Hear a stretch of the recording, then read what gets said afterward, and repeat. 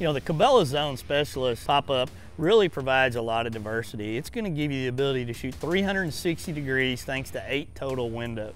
You can open and close these windows thanks to the built-in slides that are on there so that you can close as many of them as you want or as few as you want in the heat of the moment or at the beginning of the hunt. So it's so easy to set it up and down for your height, whether you're a bow hunter, whether you're a rifle hunter, whether you're a handgun hunting, basically whatever you are.